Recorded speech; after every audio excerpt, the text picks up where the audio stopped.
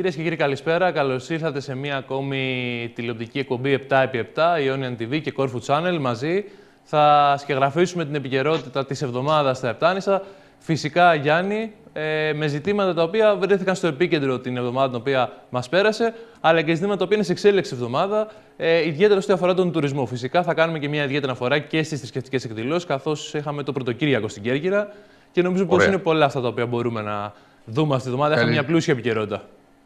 Καλησπέρα, Βαγγέλη. Καλησπέρα και στους τηλεθεατές μας. Όντως, ήταν μια πλούσια εβδομάδα αυτή που μας πέρασε, αλλά και έρχονται, και έρχονται και αυτή τη εβδομάδα. Μην ξεχνάμε ότι αυτή τη εβδομάδα τώρα που μιλάμε, η καρδιά του τουρισμού, του παγκόσμιου τουρισμού, της Ελλάδος, της Κέρκυρα, του παγκόσμιου τουρισμού, χτυπά κυριολεκτικά στο Λονδίνο, χτυπά σε αυτή την τεράστια, τη μεγάλη έκδοση, τη World Travel Market. Εδώ να πούμε στους τηλεθεατές μας ότι εμείς εδώ από την εκπομπή μας θα έχουμε ε, συνεχή ενημέρωση, καθότι η Ανδριάννα Ευλάχου είναι εκεί στην Κολτερβερμά και θα μιλήσει εκεί με τους ειδικούς του τουρισμού και θα έχουμε ανταποκρίσεις, θα έχουμε συζητήσεις, θα μας ενημερώσει για ό,τι συμβαίνει. Ναι, ήταν η εβδομάδα που μας πέρασε μια ενδιαφέρουσα εβδομάδα. Ενδιαφέρουσα ήταν και η Κυριακή που μας πέρασε. Η Κυριακή, το Πρωτοκύριακο όπως το λέμε κάθε χρόνο, η πρώτη δηλαδή Κυριακή του Νοέμβρη. Που σε αυτή την πρώτη Κυριακή του Νοέμβρη έχουμε την ε, λιτάνευση του Ιερού Σκηνώματος του Αγίου Σπυρίδωνος. Θα μας μιλήσει ο καλεσμένος μας γι' αυτό και έχουμε και ένα άλλο γεγονός, ένα σημαντικό γεγονός από, τη, από το, την εποχή της κατοχής, της ιστορικής κατοχής, που είναι η πρώτη ουσιαστικά καταγεγραμμένη μαθητική εξέγερση κατά του φασισμού στην Ευρώπη. Θα μιλήσουμε εκτενέστερα σε λίγο. Σίγουρα. Πάντως, εγώ να πω ότι φυσικά σε αυτή την μία ώρα που θα είμαστε μαζί σας, θα σταθούμε και σε όλα τα νησιά και στην Κέρκυρα και στην Κεφαλονιά και στη Ζάκτο και στη Λευκάδα με θέματα της επικαιρότητας. Ωστόσο, Γιάννη, πιο πριν, μιας και αναφερθήκαμε στο Πρωτοκύριακο, πάμε να δούμε τι έγινε την Κυριακή στη Λιτανία με εικόνες, ήχους φυσικά και μετά θα σταθούν περισσότερο στο πώς καθιερώθηκε αυτή η σημαντική ημέρα που είναι μία από τις πιο σημαντικές, θα λέγαμε, ε, εορτές ε, του χρόνου για το νησί της Κέρκυρας και φυσικά για τον Πολιούχο και προστάτη, τον Άγιο Σπυρίδωνα.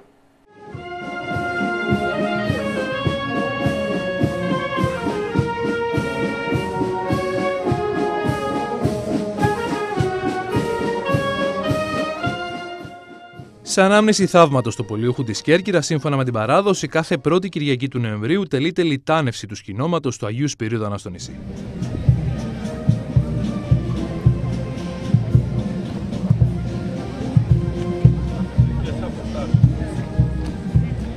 Η παράδοση αυτή ξεκινά από το 1673, όταν η Κέρκυρα επλήγει από την Πανόλη και σύμφωνα με την παράδοση, ο Άγιος Σπυρίδωνας έσωσε το νησί από την επιδημία.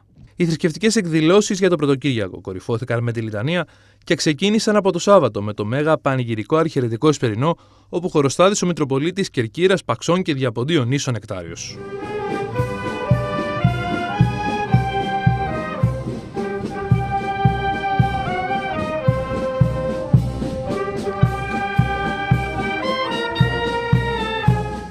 Κλήρω, φιλαρμονικές του νησιού και μαθητές συνόδευσαν το σχήνομα του Αγίου Σπυρίδωνα, ενώ πλήθο κόσμου και φέτος παρακολούθησε τη λιτανία.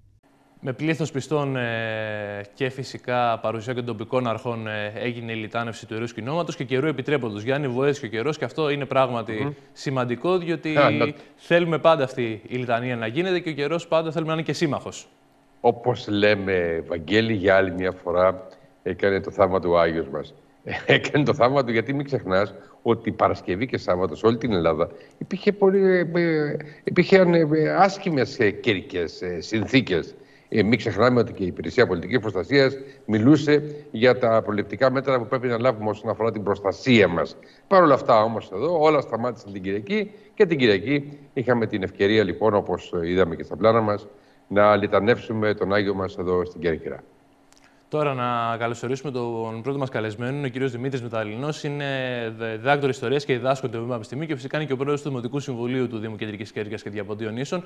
Να δούμε ε, για ποιο λόγο γίνεται αυτή η λιτανία, πότε καθιερώθηκε, γιατί υπάρχει μια σημαντική ιστορία και νομίζω πως δεν συγκινεί μόνο τους Κερκυραίους ή τους πιστούς και από άλλες περιοχές της χώρας οι οποίοι φτάνουν στην Κέρκυρα για να δουν τη λιτανία και να συμμετέχουν στις θρησκευτικέ εκδηλώσει.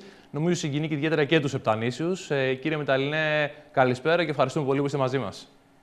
Καλησπέρα, ευχαριστώ και εγώ κύριε Ρεβίθη, κύριε Καποδίστρα, ευχαριστώ πάρα πολύ για τη φιλοξενία. Εν συντομία να πούμε ότι όντως αυτό που είπε προηγουμένως και ο Γιάννης Ορεβίτη είναι σωστό. Ένα μικρό θαύμα το ζούμε και εμείς. Εχθές περιμέναμε πιο ακραία φαινόμενα και ο, ο Άγιος απεφάσισε να στρατεύσει, έτσι λέμε εμείς στην Κέρκυρα, δηλαδή να περπατήσει. Έτσι είναι και αυτή είναι η παράδοση του νησιού. Ξέρετε, το σημαντικό, η σημαντικότερη αιτία θανάτου κατά τους μέσους χρόνους, μεσαιωνικούς χρόνους, ήταν οι πανόλεις, ήταν οι επιδημίες, δεν ήταν οι πόλεμοι. Πολύ περισσότερος κόσμος έχαν τη ζωή του από αυτές τις επιδημίες και σε, αυτή την, ε, σε αυτό το πλαίσιο εντάσσεται και το 1673, ακριβώς πριν από 350 χρόνια. Συμπτωματικά έτυχε ακριβώς 350 χρόνια να συμπληρώνονται αυτές τις μέρες που εκείνο το μοιραίο έτος είχαμε δύο δυστυχώς επιδημίες. Μία προς την Άνοιξη, καλοκαίρι, που ήταν πιο σύντομη και η δεύτερη το φθινόπωρο. Δεν ξέρουμε ακριβώς πότε ξεκίνησε, πώς ξεκίνησε. Οι μαρτυρίες μας λένε μόνο το πώς τέλειωσε και την ποσότητά της. Ήταν τόσο μεγάλη και τόσο βαριά. Ας σκεφτούμε μόνο τον κόσμο που ήταν άρρωστος, ασθενούς από πανόλη, που έπρεπε να απομονωθεί Δηλαδή ένας τραγικός θάνατος, να μην μπορείς να βοηθήσεις ούτε με μέσα, με τίποτα και το μόνο να τους απομονώνεις. Υπήρχε η προληπτική απομόνωση που ήταν τα Λαζαρέτο, όλα τα αντίστοιχα νησιά, μέχρι και το Staten Island στη Νέα Υόρκη, αλλά αυτό ήταν άλλο, ήταν πιο εκλεπτισμένο. Όταν εντοπιζόταν άνθρωπος που είχε πληγεί από αυτή την αρρώστια, είχε πληγωθεί, αμέσως απομονόταν και βέβαια απομονόταν μέχρι το θάνατο. Σε αυτή την περίπτωση και την περίσταση η μόνη καταφυγή είναι η θρησκεία. Μιλάμε για μια περίοδο πριν από 350 χρόνια που η θρησκεία επιτελεί κεντρικό ρόλο στη ζωή των ανθρώπων. Αυτό πρέπει να το καταλάβουμε κοινωνιολογικά ως φαινόμενο. Και βέβαια ο κόσμος που κατέκλυζε για τους συγγενείς του βέβαια, ο υγιής υποτίθεται κόσμος ή ο υποψήφιος να πληγεί και αυτός από την ασθένεια, κατέκλυζε του ναού και κυρίως το ναό του Αγίου Σπυρίδωνος και το Ιερό Λείψανό του. Και αυτό είναι το σημαντικό για όποιον μελετά την ιστορία, ότι ξαφνικά σταμάτησε το θανατικό. Έχουμε μαρτυρίες στην Αξάρια, είναι σπουδαίες αρχαιακά τεκμήρια και πηγές, μας διασώζουν ότι έβλεπαν έναν Άγιο, έναν καλόγερο, να, με το δρεπάνι να κυνηγάει το θανατικό και το κακό. Αυτό έχει απεικονιστεί και σε ναούς, ακόμα και σε μια εικονογραφική, θα λέγαμε, παράσταση μέσα στο ναό του Αγίου Σπυρίδωνα, στη σκεπή του, αλλά και στον Αγιο Αθανάσιο της ε, Άνω Κορακιάνας, έναν ιστορικό ναό και αλλού. Και όλα αυτά είναι τεκμήρια, τεκμήρια που δείχνουν το τι πίστευε ο κόσμος. Καταγράφουμε, όπως εσείς δημοσιογράφοι, το timing, έτσι καταγράφουν και εκείνοι το timing της εποχής. Αυτό το θαυμαστό ότι σταμάτησε απότομα και βέβαια το απέδωσαν και οι ενετικές αρχές και οι Ορθόδοξοι το απέδωσαν στον Άγιο Σπυρίδωνα, τον μόνο ιατρό που υπήρχε τότε και γιατί να το κρύψουμε άλλωστε και σήμερα ακόμα υπάρχουν πολλές ασθένειες οι οποίες είναι ανίατες και ο κόσμος ανατρέχει εκεί και καλό είναι να είμαστε λίγο συγκρατημένοι στις κρίσεις μας Ωραία. διότι δυστυχώς η αρρώστια είναι τραγική. Αυτό είναι το γεγονός. 1673, Οκτώβριο σταμάτησε το θανατικό και απεφάσισαν την πρώτη Κυριακή κάθε Νοεμβρίου, το λεγόμενο πρώτο Κυριακό, αυτό σημαίνει πρώτο Κυριακό, οι ενετικές αρχές και οι ορθόδοξες αρχές. Πρέπει όμως να πούμε μια τελευταία πρόταση πάνω σε αυτό. Είναι μια κερκυραϊκή τοπική γιορτή με πανχριστιανικές όμως διαστάσεις. Διότι είναι σημαντικό το ότι βρίσκει αυτή την ενότητα των χριστιανών που όλοι μαζί αποδίδουν την τιμή προς τον Άγιο Σπύρον, τον ιατρό των ψυχών και των σωμάτων. Ωραία. Είναι πολύ σωστά το είπατε. Είναι τεκμήριο του τι πίστευε ο κόσμος. Ε, εδώ, στην Κέρκυρα, πιο συγκεκριμένα. Βέβαια, η υπόθεση της Πανόλης δεν ήταν κάτι, δεν ήταν μια, ένα θανατικό που, ε, που ε, μας βρήκε εδώ τους Κερκυραίους. Ήταν κάτι το οποίο κυριολεκτικά αλλίωσε τον πληθυσμό της Δύσης. Την ανθρωπογεωγραφία της Ευρώπης. Την ανθρωπογεωγραφία της Ευρώπης, ιδιαίτερα της Δύσης. Και το λέω αυτό υπό την εξής έννοια. Είναι γνωστό ότι θρυνήσαμε εκατομμύρια, είχαμε εκατομμύρια νεκρούς στη Δύση και αλλίωσε τα χαρακτηριστικά, ιδιαίτερα τα χαρακτηριστικά της γεωργίας εκείνη την περίοδο. Είναι γνωστό, είναι κλασικό ότι για κάποιο λόγο η Ανατολική Ευρώπη δεν επηρεάστηκε τόσο πολύ από την Πανόλη όσο η Δυτική, με αποτέλεσμα να μειωθεί, να μειωθεί, να μειωθεί σε πολύ μεγάλο βαθμό το εργατικό δυναμικό της Δύσης Και αυτό έχει σαν αποτέλεσμα για τα άλλα οικονομικά ζητήματα που, που ε, ε, σχηματίστηκαν το επόμενο διάστημα. Αυτό λοιπόν ήταν ένα σημαντικό γεγονός και οι Κερκυραίοι ξέρουν να το τιμούν, αγαπητέ Δημήτρη Μεταλλινέ. Ξέρουν να το τιμούν με αυτή τη, με αυτή τη λιτάνευση του Ιερού Κοινόματο του Αγίου Σπυρίδωνος. Και κάντε μας και μια εισαγωγή, αν θέλετε, για το επόμενο θέμα που θα ακολουθήσει. Πάντως, Γιάννη, να κάνω, για το... να ναι, κάνω ναι, και μια ναι, ερώτηση ναι, γι' αυτό. Κύριε Μεταλλινέ, καθιερώθηκε από την ίδια χρονιά αυτή η λιτανία. Δηλαδή, ε, αυτό είναι εντυπωσιακό νομίζω. Δηλαδή, το πόσο σύντομα από την ίδια χρονιά Έχουμε αυτή την παράδοση, νομίζω έτσι δεν είναι, από την ίδια χρονιά που καθιερώνεται. Αμέσως αμέσως καθιερώνεται. και συμμετείχαν και οι Βενετσιάνοι σε αυτό. Οι, Βενε, οι, Βενετικέ αρχές. Ε, μην ξεχνάτε ότι δεν έχουμε Ορθόδοξο επίσκοπο στην Κέρκυρα. Υπάρχει Λατίνος αρχιεπίσκοπος. Οι Ορθόδοξοι έχουν τον θεσμό του Πρωτοπαπά. Για όσους ξέρουν θεολογία, δεν είναι το ίδιο με τον επίσκοπο. Αλλά ξέχωρα από αυτό, τώρα μην το ανοίξουμε το θέμα. Όχι, δεν έχει νόημα. Οι αρχές αυτές εισάγουν και καθιερώνουν τελετές και έτσι και έγινε. Ε, το άλλο όμως που λέτε είναι πολύ σημαντικό ότι αυτά τα γεγονότα εμψύχωναν πάντοτε τον κόσμο και τους καλλιεργούσαν στην ελπίδα. Δεν είναι τυχαίο λοιπόν ότι αυτό το πρωτοκύριακο του 1941, πολύ σημαντικό, εμψύχωσε τους νέους να μην, κάνουν, να μην συμμετάσχουν μόνο σε μια λιτανία, αλλά να λιτανεύσουν την πανόλη της εποχής τους. Ποια ήταν η πανόλη του 1941, ο φασισμός. Και είναι πολύ σημαντικό ότι εμπνέουν αυτά τα νέα παιδιά τα οποία είναι και τρελόπεδα. Αν δεν έχεις τρέλα, δεν μπορείς να κάνεις και εξέγερση. Αν γίνεις συντηρητικός από τους περισσότερους και μπεις μέσα στη... και βολευτεί, όταν βολεύεσαι ε, σε μια καθημερινότητα, εξεγείρεσαι. Ναι, είναι, θα, θα το πούμε αυτό στη συνέχεια για το επόμενο θέμα. Αλλά είναι πολύ σημαντικό εδώ, αγαπητέ Δημήτρη, να πούμε το εξής.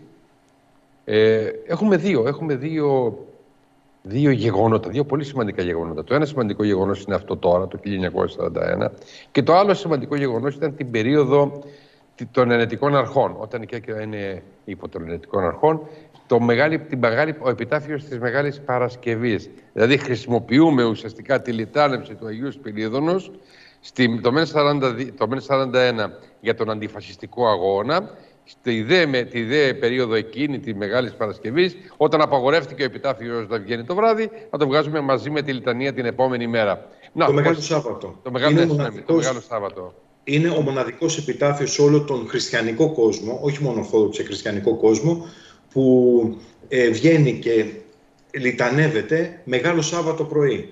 Ε, μεγάλο Σάββατο πρωί που για όσους ξέρουν καλά από εκκλησιαστικά, ας πούμε στις 11 η ώρα, αυτά είναι ξέρετε λίγο ε, πεπερασμένα, αλλά 11 η ώρα γίνεται η πρώτη Ανάσταση όπως λέμε. Παρ' όλα αυτά είναι, γίνεται η λιτάνωση 9 το πρωί του επιταφείου που δεν επιτρεπότανε. Και μάλιστα ο, ο Άγιος ε, Σπυρίδωνας, και αυτό είναι το πιο σημαντικό για μας, για 532 χρόνια χωρίς Ορθόδοξο Επίσκοπο, ε, επέχει θέση επισκόπου. Βρίσκεται στη θέση του επισκόπου και αυτό μας δείχνει ότι για τους Κερκυραίους γνωρίζουν πολύ καλά ότι ο πρώτος και κύριος επίσκοπος του νησιού μας είναι ο Άγιος Πυρίδωνας. Ε, σημαντικά γεγονότα όλα αυτά που μπορεί να έχουν μια τυπικότητα, να έχουν ξεχαστεί στον χρόνο, αλλά εμπνέουν.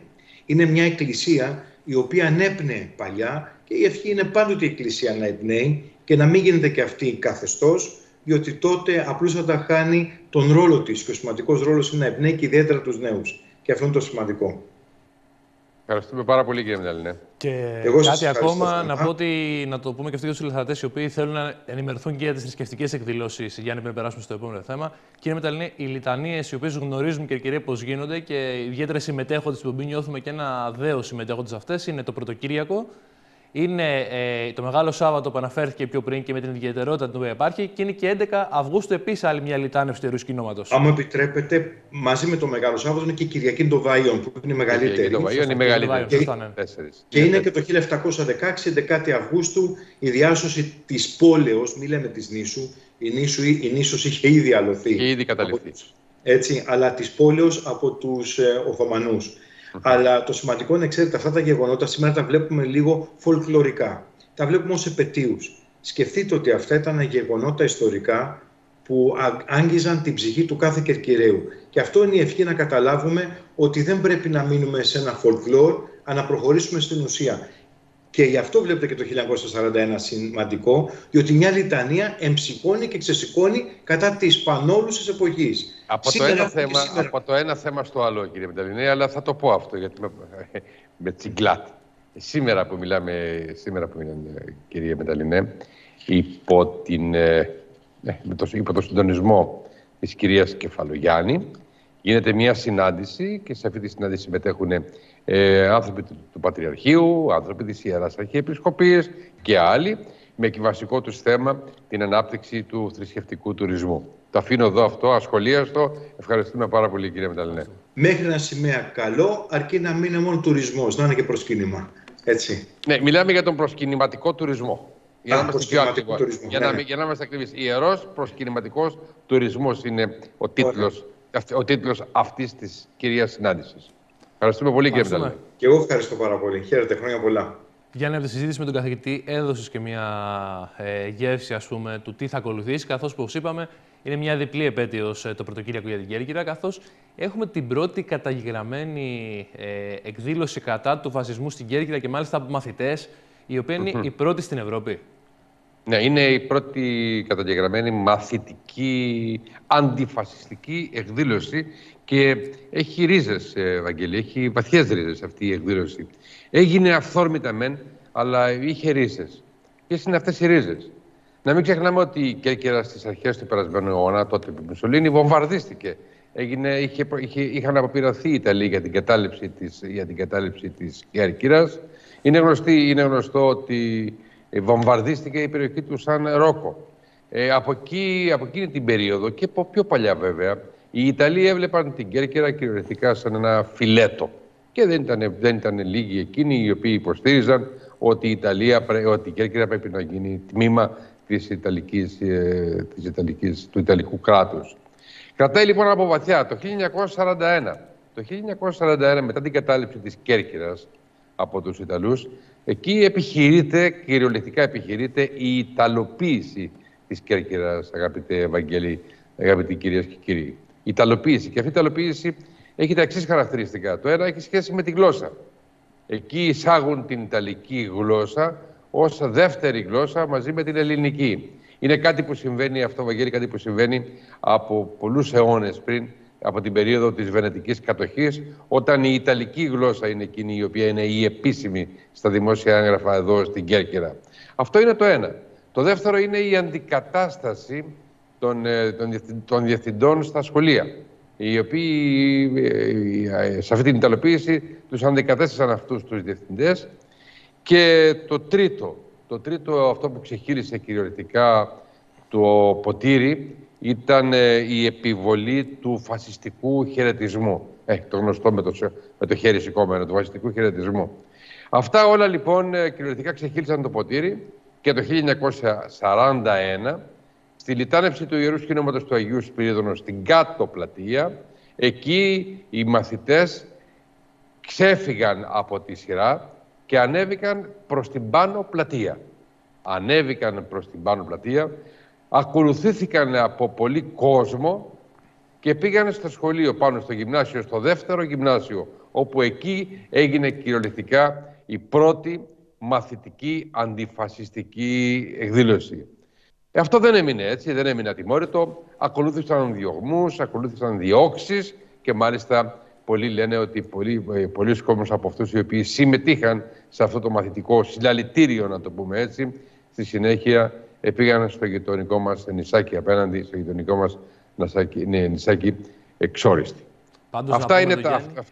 Ότι η ναι, ναι, αποτέλεση της Μπίθα, θα λέγαμε, της ε, εξέγερσης για το φασισμό της Μπίθα από την Κέρκυρα, αυτή η μαθητική κινητοποίηση. Είναι σημαντικό το ότι οι μαθητές βγήκαν μπροστά οι νέοι και μάλιστα γίνεται και πλέον μία αναβίωση αυτής της μαθητικής εξέγερσης στο δεύτερο γυμνάσιο στην περιοχή Πόρτα Ρεμούντα. Εδώ βλέπουμε και τα πλάνα.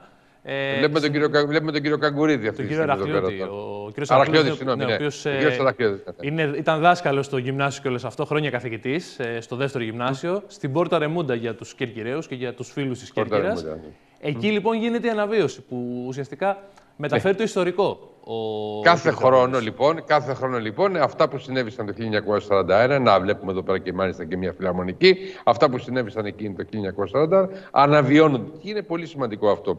Και να μην ξεχάσουμε να πούμε, Βαγγέλη, ότι εκεί υπάρχει και περιβόητη, μια περιβόητη ταμπέλα, όπως το λέμε, ε, μια πλάκα, μια πλάκα πάνω στον τοίχο, που ουσιαστικά μας θυμίζει ότι σε αυτή την πλατεία εκεί, να το βλέπουμε τώρα Το βλέπουμε τώρα. Σε αυτή τη μικρή παραδείγμα του Πρωτοκύριακου του Νοέμβρη, μέρα του μήνα 3 1941, τα μαθητικά νιάτα πραγματοποίησαν αυθόρμητα την πρώτη μαζική αντιβαστική εκδήλωση στη σκλαβωμένη Ευρώπη. Αυτό είναι ακριβώς έξω από το σχολείο, το δεύτερο γυμνάσιο. Αυτό είναι και το σχολείο το οποίο ε.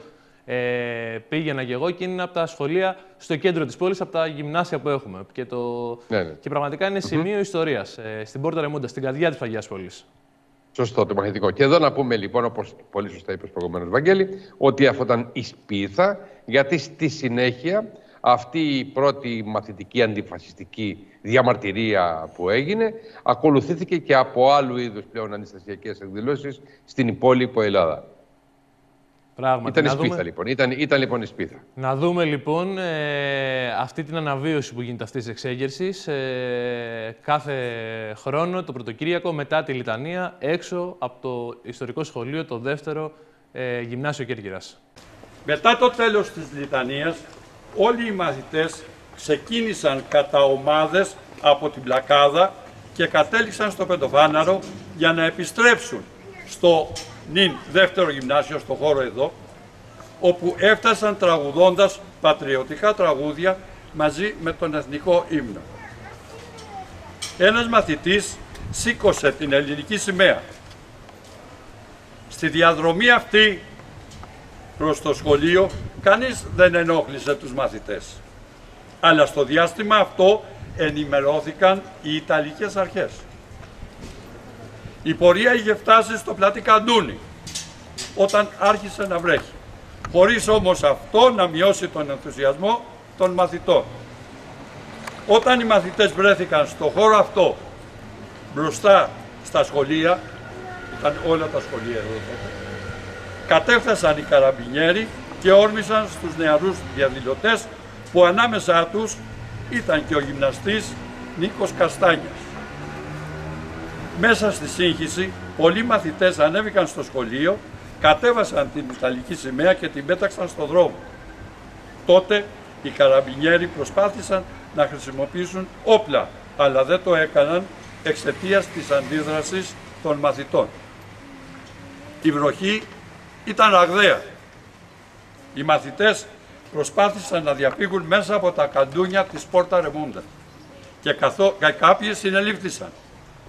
Ο ίδιος ο γυμναστής συνεπλάκη με ένα καραμπινιέρο και το πλήρωσε με το ξυλοδαρμό και τη φυλάκισή του. Αλλά χάρη σε αυτόν, πολλοί μαθητές πλήτωσαν τη σύλληψη από τους μανιασμένους καραμπινιέρους. Τα γεγονότα συνεχίστηκαν τις επόμενες μέρες με οργανωμένες εκδηλώσεις και συλλήψεις, κυρίως καθηγητών, ξυλοδαρμούς, φυλακίσεις και εξορίες αλλά αποσιοποιήθηκαν από τον Ιταλικό τύπο. Έτσι η αρχή είχε γίνει και ο κρυφός αγώνας κατά των κατακτητών συνεχίστηκε.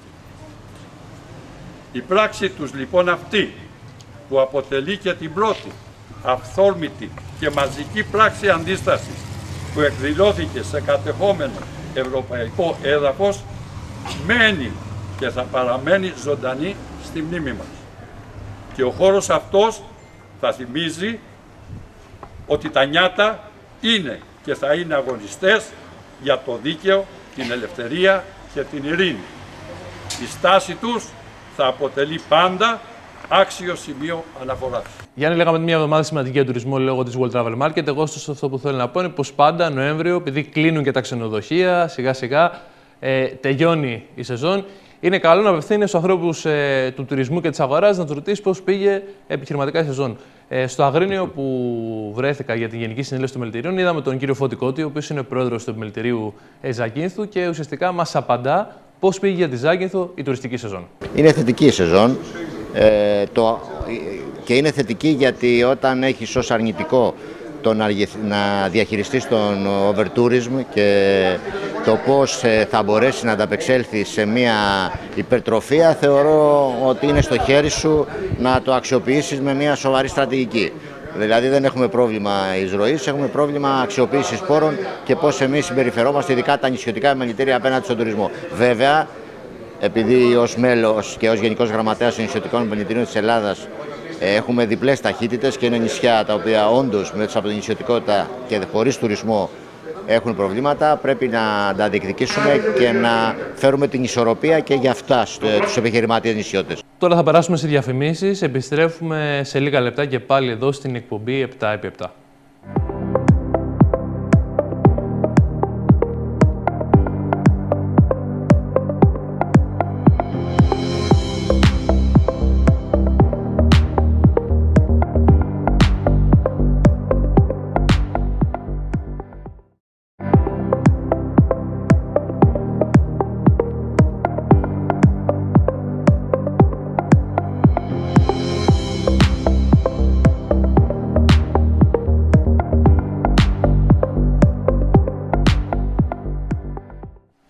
Επιστρέψαμε στο δεύτερο μέρος της εκπομπής. Ε, έχουμε πολλές φορές στη Γιάννη έχουμε νέες αρχές ε, αυτοδιοικητικές ε, στα Ιόνια νησιά. Είχαμε ανανέωση της θητείας ορισμένων.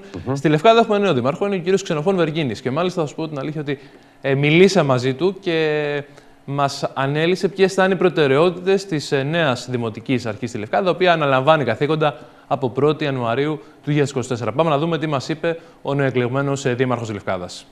Στις προτεραιότητες και τους στόχους για την επόμενη πενταετία που θα βρίσκεται στο Δημαρχιακό Θόκο της Λευκάδας, αναφέρθηκε στο Ιόνιαν ο νεοκλεγμένο Δήμαρχος Ξενοφών Βεργίνης. Το πρόβλημα της επάρκειας του νερού είναι από τα πιο σημαντικά στην ιεραρχία για τον νεοεκλεγμένο Δήμαρχο. Το πρόβλημα αυτό υπάρχει σε πολλά χωριά αλλά και μέσα στην πόλη συχνά. Σε αυτό υπάρχει ένας προγραμματισμός για δύο χρόνια. Φαντάζομαι ότι θα υπάρξει ο νέος αγωγός να μεταφέρει νερό από τον Άγιο Γεώργιο ε, μεταξύ Άρτας και Πρέβεζας προς τη Λευκάδα. Τα ζητήματα καθημερινότητας καθαριότητα και ιδιαίτερα σε περιοχές εκτός του κέντρου βρίσκονται στο επίκεντρο του σχεδιασμού της νεοκλεγμένης Δημοτικής Αρχής. Όσον αφορά το κυκλοφοριακό, ο Ξενοφών Βεργίνης εστιάζει στη δημιουργία θέσεων στάθμευσης δεδομένης της συμφόρησης που υπάρχει στους δρόμους και ιδιαίτερα τους καλοκαιρινούς μήνες, αφού η Λευκάδα αποτελεί ένα από τους κορυφαίους τουριστικούς προορισμούς. Επιτέλους να έχουμε πάρκινγκ που είναι η βασική πηγή, αν θέλετε, εισόδου προς την πόλη των αυτοκινήτων. Δηλαδή δεν υπάρχουν πάρκινγκ και μάλιστα και αυτά που υπάρχουν δεν είναι οργανωμένα. Τα πάρκινγκ αποτελούν βασική πηγή του, του κυκλοφοριακού και πρέπει να γίνουν περιφερειακά κατά την άποψή μου και αυτό θα επιδιώξω να γίνουν περιφερειακά της πόλης και από εκεί να ξεκινήσει η μεταφορά των δημοτών αν είναι σε απόσταση τέτοια που ε, δεν είναι κοντά στην πόλη. Μεγάλη βαρύτητα δίνεται και στη λειτουργία του Δήμου με τον Ξενοφόντα Βεργίνη να κάνει λόγο για μια διαφορετική διοικητική και διαχειριστική τοποθέτηση. Αναβάθμιση σημαίνει να έχουμε ικανό σε αριθμό αλλά και ικανό σε προσόντα γνώσης και εμπειρίες ε, ανθρώπινου δυναμικού, προσωπικού δηλαδή, ώστε να μπορεί να είναι σε θέση να αντιμετωπίσει τα τρέχοντα και τα χρόνια προβλήματα. Αυτό είναι πάρα πολύ σημαντικό και δεν είναι πάντα εύκολο διότι πρώτα πρώτα χρειάζεται μια ενίσχυση οικονομική ο Δήμος. Ο νεκλεγμένο Δήμαρχος Λευκάδας, μετά την εκλογική του νίκη στις 8 Οκτωβρίου, αναλαμβάνει και επισήμως καθήκοντα την 1η Ιανουαρίου του 2024. Θα πάμε στην Κεφαλονιά τώρα και συγκεκριμένα στο Αργοστόλι, εκεί που έγινε μια κινητοποίηση με βασικό αίτημα τη μονιμοποίηση των συμβασιούχων. Ε, Όπως καταλαβαίνουμε, είναι εργαζόμενοι οι οποίοι για λίγους ε, μήνες ε, συνήθως έχουν μια σύμβαση στο νοσοκομείο και όταν μιλάμε για δημόσια υγεία, η στελέχωση πάντα των δομών Γιάννη είναι ιδιαίτερα σημαντική των δομών υγείας. Μαζί μας είναι ο κύριος Κώστας Τσιμάρας, είναι ο πρόεδρος του Σωματείου του Γενικού Νοσοκομείου Κεφαλονιάς. Κύριε Τσιμάρα, καλησπέρα. Καλησπέρα σας. Γεια σας, κύριε Τσιμάρα. Ζητάτε τη μονιμοποίηση του συμβασιούχων. Καταρχάς, να πούμε πώς είναι αυτοί οι συμβασιούχοι, πότε λήγουν οι συμβάσεις τους και αν προβλέπετε αυτές οι κενέ θέσεις να καλυφθούν. Ε, είναι περίπου 90 συμβασιούχοι με συμβάσεις ορισμένου χρόνου, ε, είτε επικουρικοί είτε με συμβάσεις του ΟΑΕΔ. Οι, ε, οι συμβάσεις τους λήγουν στις 31 Δεκεμβρίου ε, και το ζήτημα είναι ότι αυτή τη στιγμή ε, καλύπτουν το 50% των ε, θέσεων του νοσοκομείου. Ε, δηλαδή, οι μόνιμες οι οργανικές θέσεις του νοσοκομείου ε, είναι κενές κατά το 50% ε, που ευτυχώς αυτή τη στιγμή έστω και προσωρινά ε, αναπληρώνονται από αυτούς τους συμβασιούχους. Οπότε φαντάζεστε τι πρόβλημα θα υπάρχει σε περίπτωση που δεν ανανεωθούν οι συμβάσεις τους. Ε, θα έχουμε πολύ μεγάλο πρόβλημα σαν υπηρεσία ε, με οδυνηρές συνέπειες ε, για τους ασθενείς. Μία ερώτηση τώρα. Αυτοί οι 90, αν φύγουν το 31 Δεκεμβρίου που λήγει σύμβαση, δηλαδή, πρακτικά αυτό που μας λέτε είναι ότι εκτός νοσοκομείου, αργοστολίου, στο Γενικό Νοσοκομείο Κεφαλονιάς, οι 90 συμβασιούχοι 31 Δεκάτου, το 24 χωρίς εκείνους. Προβλέπετε να υπάρξει μια αντικατάσταση πάλι με συμβάσεις ορισμένου χρόνου; Ε, την ίδια μέρα που κάναμε και εμείς την κινητοποίηση, ε, ήταν πανελλαδική απεργία και είχε συνάντηση η Ομοσπονδία μας, η ΠΟΕΔΗ, ε, στο Υπουργείο Υγείας ε, και ύστερα από όλες αυτές τις πιέσεις απέσπασε τη δέσμευση του Υπουργού Υγείας ότι θα ανανεωθούν οι συμβάσεις τους ε, ύστερα από αυτή την πίεση ε, για ένα χρόνο ακόμη. Εμείς όμως δεν επαναπαυόμαστε ούτε για ένα ούτε για δύο χρόνια γιατί θα θεωρούμε εμβαλωματικές κινήσεις αυτές. Ε, εμείς θέλουμε αυτές οι συμβάσεις ορισμένου χρόνου να μετατραπούν με νομοθετική ρύθμιση σε αορίστου χρόνου, στην ουσία δηλαδή να μονιμοποιηθούν, ούτως ώστε να παρέχεται σταθερή ε, και συνεχής ε, υγειονομική κάλυψη στους ε, πολίτες του νησιού μας και των τουριστών βέβαια. Μία ερώτηση και τώρα, μιας και μας αναφερθήκατε, κύριε Τσιμάρα, και αυτό είναι σημαντικό για τους 90 εργαζόμενους, είναι και μεγάλος ο αριθμός. Ε, και ενδεχομένως να υπάρχει παράτηση. Αυτοί πόσα χρόνια ήδη βρίσκονται στον χώρο του νοσοκομείου, Γιατί οι παροχές, η βοήθεια που δίνουν είναι ιδιαίτερα σημαντική. Γι' αυτό νομίζω ε, το καταλαβαίνουν όλοι. Και φυσικά το ιατρικό προσωπικό, το νοσηλευτικό και το διοικητικό, το νοσοκομείο, αλλά και οι ασθενείς. Πόσα χρόνια περίπου ήταν αυτοί οι άνθρωποι στο νοσοκομείο Αργοστολή με αυτή τη σύμβαση, πότε ξεκινάει η σύμβαση δηλαδή; Αυτοί οι άνθρωποι μπήκαν στα χρόνια της ε, πανδημίας ε, για να καλύψουν ε, αυτές τις ανάγκες. Είναι περίπου τρία χρόνια.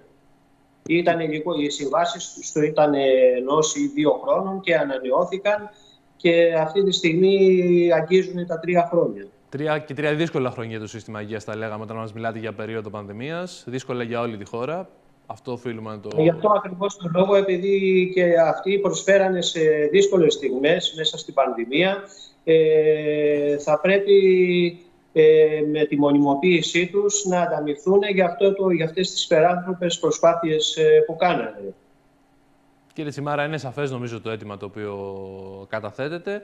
Ε, Εμείς σε αυτό το σημείο να σα ευχαριστήσουμε πολύ και φυσικά πριν κλείσουμε ένα σχόλιο σε ό,τι αφορά το νοσοκομείο. Υπάρχουν ελλείψεις, εκτιμάται, έχει βελτιωθεί η κατάσταση, γιατί πολλές φορές μιλάμε για τα νησιωτικά νοσοκομεία για τις ελλείψεις.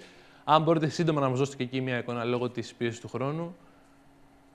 Ναι, βεβαίως υπάρχουν ελλείψεις όπως το έχουμε τονίσει αλλεπάλληλα ε, με ανακοινώσεις μας και σε έγγραφα στο Υπουργείο Υγείας. Όπως είπα και πριν, ε, οι μισές οργανικές θέσεις του νοσοκομείου είναι κενές. Ε, και σε νοσηλευτικό και σε ιατρικό ε, και σε όλες τις ειδικότητες. όσον αφορά τώρα τους παθολόγους, έχουμε πολύ μεγάλο πρόβλημα, διότι από, τους, από τις τέσσερις οργανικές θέσεις που έχει το νοσοκομείο, υπηρετεί μόνο ένας μόνιμος παθολόγος, οπότε φανταστείτε τι δυσκολία υπάρχει. Άλλο παράδειγμα είναι το αναισθησιολογικό τμήμα που πάλι από τις τέσσερις οργανικές θέσεις ε, υπηρετούν μόνο δύο.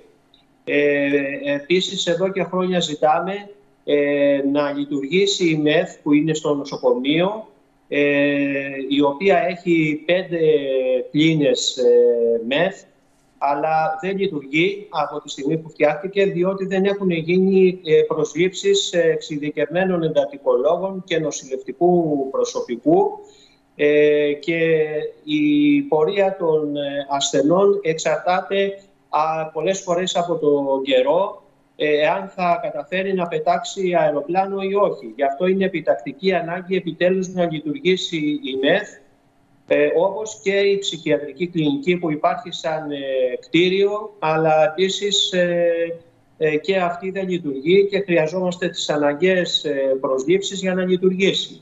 Οπότε Αυτές είναι μερικές από τις βασικές ανάγκες μας. Καταλαβαίνουμε. Κύριε Τσιμάρα, εμείς αυτό το σημείο να σας ευχαριστήσουμε πάρα πολύ για όσα μας είπατε και σίγουρα θα ασχοληθούμε ξανά με τις ε, ανάγκες όχι μόνο του Κομιτροκοστολίου, όλων των νησιωτικών νοσοκομείων. Ευχαριστούμε πάρα πολύ. Γιάννη, λέγαμε ότι η καρδιά τουρισμού χτυπάει στο Λονδίνο, World Travel Market και είναι συνάδελφος εκεί, Ανδριάννη Ευλάχου.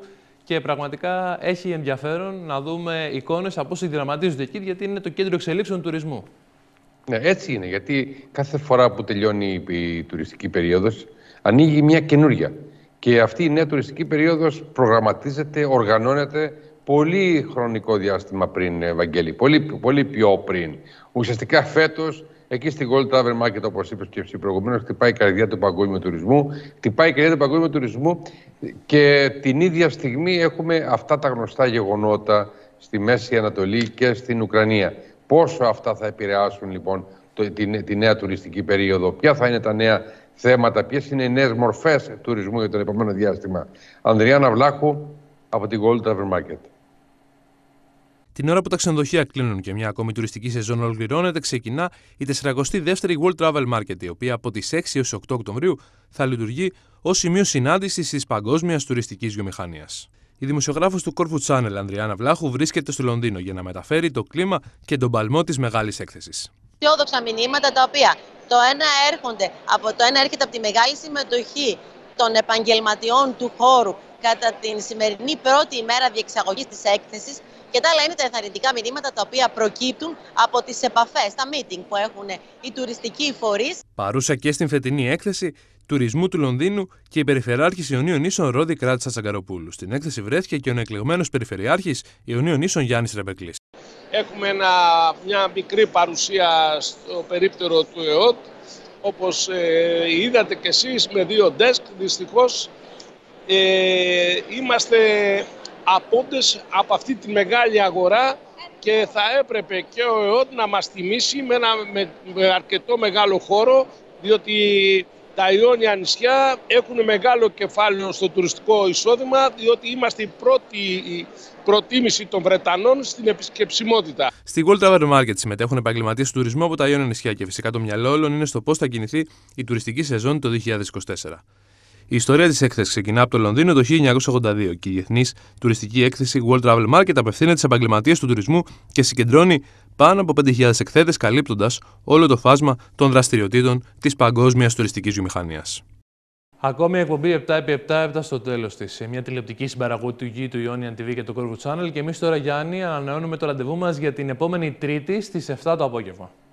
Να αποχαιρετήσουμε λοιπόν τους κατοίκους εδώ της περιοχής μας. Να πούμε ότι η εκπομπή 7x7 μια συμπαραγωγή του Ionian TV και του Corfu Channel κάθε εβδομάδα, κάθε Τρίτη στις 7. Γεια σας.